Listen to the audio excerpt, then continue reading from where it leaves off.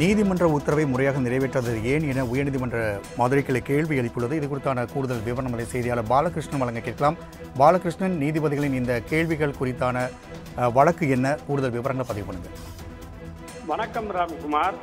திருச்சி மத்திய பேருந்து நிலையத்தில் தனியார் பேருந்துகளுக்கு என அரசு ஒதுக்கப்பட்ட நேரத்தில் பேருந்துகளை இயக்க நடவடிக்கை எடுக்க போக்குவரத்து அதிகாரிகளுக்கு பிறப்பிக்கப்பட்ட உத்தரவை நிறைவேற்றாத அதிகாரிகள் மீது நீதிமன்ற அவமதிப்பு எடுக்க உத்தரவிடக் கோரிய வழக்கில் நீதிமன்ற உத்தரவை முறையாக நிறைவேற்ற நிறைவேற்றாதது ஏன் என கேள்வி எழுப்பிய நீதிபதிகள் நீதிமன்ற உத்தரவை நிறைவேற்றாத திருச்சி மேற்கு வட்டார போக்குவரத்து அலுவலர் கணேஷ் நீதிமன்றத்தில் நேரில் ஆஜராகி விளக்கம் அளிக்க வேண்டும் என உயர்நீதிமன்ற மதுரை கிளை உத்தரவு ஒன்றினை பிறப்பித்துள்ளது.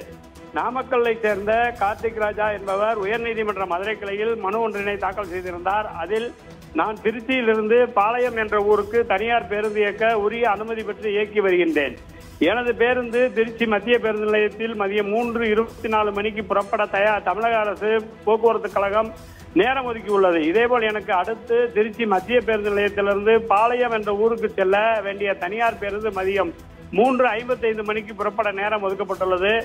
ஆனால் இந்த பேருந்து குறிப்பிட்ட நேரத்திற்கு முன்னதாகவே மூணு கால் மணிக்கு இப்ப இயக்கப்படுவதால் எனக்கும் மற்ற பேருந்துகளுக்கும் பதினேழு வருடமாக வருடாய் வருவாய் இழப்பு ஏற்பட்டுள்ளது. எனவே தனியார் பேருந்துகள் அரசால் ஒதுக்கப்பட்ட குறிப்பிட்ட நேரத்திற்கு இயக்க உத்தரவிட வேண்டும் என கூறியிருந்தார். இந்த மனுவை விசாரணை செய்த தனி நீதிபதி மனுதாரர் கூறிய குற்றச்சாட்டு ஆவணங்களின்படி சரியாக உள்ளதால் தனியார் பேருந்துகள் உரிய நேரத்தில் இயக்க வட்டார போக்குவரத்து துறை அதிகாரிகள் உரிய நடவடிக்கை எடுக்க வேண்டும் என உத்தரவு பிறப்பித்திருந்தார். இந்த உத்தரவை ரத்து செய்ய கோரி கரூரை சேர்ந்த மற்றொரு பேருந்து உரிமையாளர் சுவாமி அப்பன் மேல்முறையீட்டு மனுவை தாக்கல் செய்திருந்தார். இந்த மனுவை தள்ளுபடி செய்த உயர்நீதிமன்றம் நீதிமன்ற உத்தரவை முறையாக பின்பற்ற வேண்டும் என திருச்சி மாவட்ட வட்டார போக்குவரத்து அதிகாரிகளுக்கு உத்தரவு பிறப்பித்திருந்தது. இந்த உத்தரவை பிறப்பிக்க இந்த உத்தரவை அமல்படுத்தாத வட்டார போக்குவரத்து அலுவலர் நீதிமன்ற அவமதிப்பு நடவடிக்கை எடுக்க கார்த்திகராஜா மனு தாக்கல் செய்திருந்தார். இந்த மனு நீதிபதிகள் ஜெயச்சந்திரன் திருமதி அமர்வு முன்பு விசாரணைக்கு வந்தது.